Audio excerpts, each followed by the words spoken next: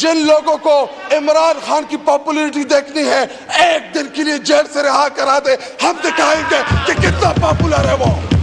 तेरह तेरह और अठहत्तर परसेंट से तेरह और अठहत्तर परसेंट का अगर आपने अंदाज़ा लगाना है आठ फरवरी को कौम ने आपको जवाब दिया लेकिन अगर आपको दोबारा। हक है, चले, तो मीनार पाकिस्तान। दो सौ दहशतगर्दी के आप पर्चे कराते हैं। अगर इमरान खान इस मुल्क में दहशतगर्द हो गया तो फिर ठीक कौन हुआ जनाबी डिप्टी स्पीकर साहब? हमें याद है इनके घसीटना शबाज शरीफ क्या कहता था कि अगर जरदारी को मैंने लड़काना कराची लाहौर की सड़कों पे ना घसीटा तो मेरा नाम शहबाज शरीफ नहीं होगा। तो अभी तेरा नाम चेरी ब्लॉसम रख दे बूट पॉलिश रख दे। डिप्टी स्पीकर साहब हो गया जी, आ- आप आज तशरीफ़ रखें। मैं तो बैठ जाऊँगा। मुझे ना करने दे। तकलीफ़ लेकिन मैं भी फिर इनको नहीं करने दूँगा। मैं कल ही काफ़ी हूँ। इमरान खान जेल में कैद होकर अल्हम्दुलिल्लाह वो जीत गया है। आप लोग हार चुके हैं। अगर फॉर्म सैतालीस के ज़रिए इधर मौजूद मेंबरान को एक कागज़ के टुकड़े के ज़रिए उनको मुंतखब ना किया होता तो आज आप इस चेयर के ऊपर ना होते और ना इधर शबाज शरीफ वजी अजम की कुर्सी पर होता।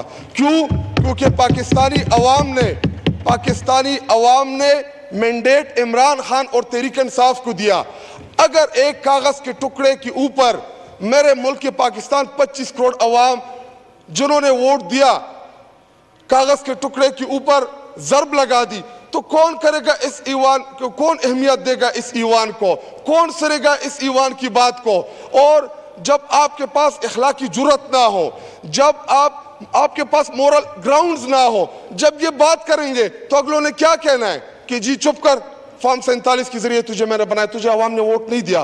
कैसे चलेगा मेरा यह मुल्क? कैसे आगे बढ़ेगा मेरा यह मुल्क? क्योंकि इनके पास इख्तियार ही नहीं है। और सिर्फ़ चार पाँच इधर इन्होंने छोड़ी हुए और इधर वो एफेंड्रीन जो इधर से गया अभी। मेरे बारे में उसने एक बात की डिप्टी स्पीकर साहब, के ये दाढ़ी वाला, अल्हम्दुलिल्लाह मेरी दाढ़ी है, और दाढ़ी जो है ये सुन्नत है तमाम अंबिया कराम की मुस्तकिल सुन्नत है। उसने कहा कि दाढ़ी वाले ने कर्नल शेर खान का मुजस्मा उठाया हुआ था। ये डान लीक्स करने वाले, जिन्होंने बाहर की दुनिया में हमारे फौज के खिलाफ बोलने वाले, आज फौज के बड़े तर्जुमान बनी हुए इस ईवान के अंदर। डान लीक्स कराने वाला कौन है? आज चीफ मिनिस्टर पंजाब बनी हुई है, उसको फॉर्म सैंतालीस के ज़रिए उसको बैठाया हुआ है। और ये कहता है कि जी, इसने कर्नल शेर खान का जो मुजस्मा है, वो उठाया हुआ है। हालाँकि नौ मई को मैंने प्रोटेस्ट किया था। जिस तरीके से मेरे लीडर को गिरफ़्तार किया गया था। जिस तरीके से इमरान खान को इस्लामाबाद हाई कोर्ट के अहाते में घसीट के लेके गए थे, जिस तरीके से लेके गए थे, मुझे था एतराज़ उस तरीके के ऊपर। बिल्कुल मैंने किया था अपने ज़िले के अंदर प्रोटेस्ट उसमें बीस पच्चीस हज़ार लोग बिल्कुल मौजूद थे। लेकिन डिप्टी स्पीकर साहब, एक गमला नहीं टूटा उसमें, एक गमला। पुरमन एहतजाज था वो। और पुरमन एहतजाज के बाद हमारे, मेरे ऊपर चौंतीस, पैंतीस एफ़ कर दी। एक गमला एक गमला नहीं टूटा उस एहतजाज के अंदर। लेकिन मकसद कुछ और था। नौ मई, इसलिए हम कहते हैं कि नौ मई एक बहाना था। इमरान खान और तहरीक इंसाफ निशाना था। सिर्फ़ और सिर्फ़ इमरान खान और तहरीक इंसाफ निशाने के ऊपर थी। अगर इमरान खान को उन्होंने गिरफ़्तार किया, जिस तरीके से गिरफ़्तार किया और सुप्रीम कोर्ट ऑफ़ पाकिस्तान ने कहा कि इमरान खान को आप लोगों ने गैर कानूनी तौर पे गिरफ़्तार किया है। और यह सुप्रीम कोर्ट ऑफ़ पाकिस्तान ने कहा, हमने नहीं कहा। लेकिन उसके बाद जब इमरान खान को रिहा किया गया, तकरीबन पाँच, छह, सात दिन तक उनकी रिहाई के बाद जो जिलम, जो जबर रियासत ने तहरीक इंसाफ के वर्कर्स के खिलाफ किया तहरीक इंसाफ की लीडरशिप के खिलाफ किया, वो आठ नौ महीने अल्लाह किसी को भी वो आठ नौ महीने ना दिखाए, जो तहरीक इंसाफ के वर्कर्स और लीडरशिप के ऊपर जो जुल्म हुआ, जिस तरीके के साथ हुआ, अल्लाह ना करे कि वो इनके ऊपर आए। अगर इनके ऊपर आया, इनका लीडर जो अब ये बड़ा इनकलाबी उनको प्रेजेंट करने की कोशिश कर रहे हैं कि जी, नवाज़ शरीफ शबाज शरीफ बड़े इनकलाबी लीडर हैं। हालाँकि उनके इनकलाब का आलम तो ये था कि जो ही उनको जेल में डाला, उनके प्लेटलेट्स जो हैं वो गिरना शुरू हो गए। उनको बीमारी लाहक हो गई। और जाना किधर है? इस मुल्क के ऊपर 40 45 साल तक हुक्मरानी की 45 साल तक इस मुल्क के ऊपर काबिज रहे। एक अस्पताल नहीं बनाया कि उसमें अपना खुद का इलाज करा सकते। ये ये आलम था इनकी हुकूमतों का। और दूसरा, साढ़े तीन साल की एक बेहतरीन हुकूमत, एक लीडर जिसने जो कौम को औलाद की तरह समझता था, खुद को कौम का वालिद का दर्जा दिया, एहसास प्रोग्राम शुरू कराया, सेहत कार्ड दिया इस मुल्क को। मीशत की बेहतरी के लिए वो इकदाम उठाए जो तारीख में नहीं उठाए किसी ने। इसके अलावा कोविड के बावजूद साल, डेढ़ साल तक जो कोविड का मुश्किल दौर था, पूरी दुनिया ने उसको रिकग्नाइज किया। पाकिस्तान जो था, वो ट्रैक पे आ गया था।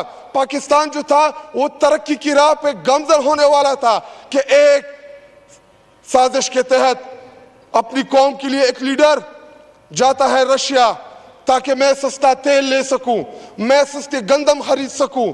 लेकिन जब वो मुल्क वापस आता है तो चूँकि उसने पहले एक दफ़ा इनकार किया था एब्सोल्युटली नॉट बोल चुका था तो वो उन लोगों को जो खुद को आकाश समझते हैं, उनको नागुजीर गुजरा, उनको अच्छा नहीं लगा। और इधर कुछ बैरूनी और कुछ अंदरूनी गद्दारों ने मिलके उस लीडर को, उस वज़ीर आज़म को और उस हुकूमत को बेदखल किया। और उसके बाद होता क्या है जनाबी डिप्टी स्पीकर साहब? एक डायरी हाथ में लेके वज़ीर अजम हाउस से चलता है और बाहर प्रेजेंट वेंट्स खड़ी होती है, अदालतें लगती है और एक वो लीडर जिसने सारी ज़िंदगी 28 उनतीस साल की सियासत में एक गमला ना तोड़ा हो, उसने हमेशा इस मुल्क में आइन और कानून की बात की। बाहर प्रेजेंट वैन आते हैं असेंबली के बाहर वजी अजम हाउस के सामने खड़ी होती है और ऐसा मंजर पेश करने की कोशिश की कि जैसे इमरान खान आइन तोड़ देगा। हालाँकि वो इमरान खान, जिसने जो, जिस, जिसकी वजह से अल्लाह ताला ने इस मुल्क को इज़्ज़त दी, इस इमरान खान ने इस मुल्क को वर्ल्ड कप दिया, इमरान खान ने इस मुल्क को शौकत खानम दिया, इमरान खान ने इस मुल्क को नमल दिया, इमरान खान ने इस मुल्क को सेहत कार्ड दिया, इमरान खान ने इस मुल्क को एहसास प्रोग्राम दिया और मेरे सब हिलाली झंडे की पूरी दुनिया में उसने इज़्ज़त कराई। अल्हम्दुलिल्लाह तो मैं जनाबी डिप्टी स्पीकर साहब, पूछना चाहता हूँ कि कैसे उस लीडर के ऊपर दो सौ दहशत गर्दी के आप पर्चे कराते हैं? अगर इमरान खान इस मुल्क में दहशत गर्द हो गया तो फिर ठीक कौन हुआ, जनाबी डिप्टी स्पीकर साहब? और हमें इधर बैठ के ये अभी जो एक दूसरे के लिए डाइस बजा रहे हैं, हमें याद है इनके घसीटना। शबाज शरीफ क्या कहता था कि अगर जरदारी को मैंने लड़काना कराची, लाहौर की सड़कों पे ना घसीटा तो मेरा नाम शहबाज शरीफ नहीं होगा। तो अभी तेरा नाम चेरी ब्लॉसम रख दे, बूट पॉलिश रख दे तो एक दूसरे के साथ बैठ के एक दूसरे को वोट दे रहे और जनाबी डिप्टी स्पीकर साहब प्रेसिडेंट साहब की जो तकरीर है, अगर इसमें आप एक कोरेक्शन कर देते कि इसके साथ जनाब Asif Ali Zardari mister ten percent लिख देते तो ये बेहतर होता। है और ये हम नहीं कह रहे, ये उधर कल जो ख्वाजा आसिफ जो तकरीर कर रहा था, ये वो कह रहा था। अगर अगर अगर मिस्टर टेन परसेंट लिख लेते इसके साथ तो तो जो जिन्होंने हार चुराए जिन्होंने पूरे पाकिस्तान की बद, बदनामी की आज वो गड़ी का ज़िक्र कर रहे हैं। आप लोगों ने तो हार चुराए थे इस मुल्क की बेजती कराई थी इंटरनेशनल लेवल पे। पाइनएप्पल नहीं छोड़ा जानमाजों तक को नहीं बख्शा चटाइया तक ले गए आप तो शखाना से। और ये कहेंगे बेडशीट बेडशीट सब कुछ तक ये ले गए। और जनाब डिप्टी स्पीकर साहब और और जनाब डिप्टी स्पीकर साहब जनाब डिप्टी स्पीकर साहब मैं मैं एक और मैं एक और जी जब इनकी बारी होती है तो आप इनको 20 20 25 25 जी देखे मुझसे बारी आवाज़ इसी वार में किसी की नहीं है। नहीं नहीं करने देंगे तकरीर ये भी नहीं कर पाएँगे। वो नाजमाल है खुद को। मुझसे तकरीर किसी की भी नहीं है ऐसी आवाज़ किसी की भी नहीं है। डिप्टी स्पीकर साहब ये ये बीस पच्चीस पच्चीस एक एक घंटा हम इनकी तकरीरें सुनते रहे। अभी अभी दो मिनट की बात आई तकलीफ़ हो गई। सुने बर्दाश्त करें। थोड़ा आप बड़े हम आ, थोड़ा सा बर्दाश्त कर ले। थोड़ा थोड़ा सा बर्दाश्त कर ले। थोड़ा सा बर्दाश्त हाँ। हौसला रखे। रखे। शुक्रिया। यार डिप्टी शुक्रिया। शुक्रिया। माइक खोलें खटक साहब का माइक खोलें। आप बोले खटक साहब वाइंड अप करें एक मिनट में। डिप्टी स्पीकर साहब खुला हुआ माइक आपका। हमारे मामले में आपके पास टाइम की कमी आती है। और मैंने कौन जी इधर वो अभी फिनरीन हलीफ अब्बासी जो गया है वो पर्सनल अटैक्स करके गया है। कल उधर ख्वाजा आसिफ जो खड़ा था पर्सनल अटैक्स कर रहा था। हमने सुनी उनकी बात लेकिन हमारी दो मिनट की तकरीर से इनको जी दे के सारे सारे सारे सारी उनके तमाम उनको खड़ा कर दिया है। ये जो अभी 10% का तो लफ्ज का है, उसको करते हैं। आप तशरीफ़ रखें। डिप्टी स्पीकर साहब हो गया जी, आ- आप तशरीफ़ मैं तो बैठ जाऊँगा। मुझे ना करने दे रखें। तकलीफ़ लेकिन मैं भी फिर इनको नहीं करने दूँगा। मैं कल ही काफ़ी कर दिया ना डिप्टी स्पीकर साहब एक चीज़ एक चीज़ इमरान खान जेल में कैद होकर अल्हम्दुलिल्लाह वो जीत गया है आप लोग हार चुके हैं। अगर अगर अगर इमरान खान की पॉपुलरिटी का आपने अंदाज़ा लगाना है। ठीक है, तो शुक्रिया। ग्राउंड आपका जगह आपकी एक शुक्रिया।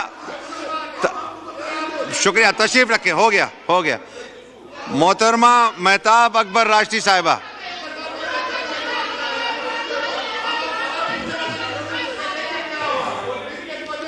माहौल माहौल खराब नहीं करें। माहौल खराब नहीं करें। तशरीफ़ रखें।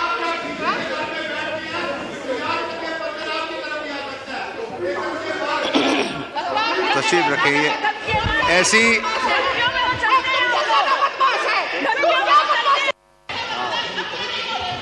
माइक देना स्पीकर साहब। एक ये आप ये यहाँ पे जो खड़ी खातन है, इन्होंने मेरे ऊपर हमला किया है और ये हमारी माए बहन है। मैं ऐसा नहीं करूँगा। मेरी ऐसी तरबियत नहीं हुई कि मैं इनके ऊपर फ़िज़िकल अटैक्स करूँ। लेकिन डिप्टी स्पीकर साहब अच्छा मैं मैं अगर अगर इनको बुरा लगा टेन परसेंट का आसिफ अली जरदारी बहुत ईमानदार लीडर है। आसिफ अली जरदारी उसने सिंह को नहीं खाया। आसिफ अली जरदारी उसने पूरे पाकिस्तान को तरक्की के राह पे गामजन कर दिया तो आप तो सुन ले मेरी बात। स्पीकर साहब जिन लोगों को इमरान खान की पॉपुलरिटी देखनी है एक दिन के लिए जेल से रिहा करा दे। हम दिखाएँगे कि कितना पॉपुलर है वो। तेरह तेरह और अठहत्तर परसेंट से तेरह और अठहत्तर परसेंट का अगर आपने अंदाज़ा लगाना है आठ फरवरी को कौन ने आपको जवाब दिया लेकिन अगर आपको दोबारा। चले, आ तो गया। तो मीनार पाकिस्तान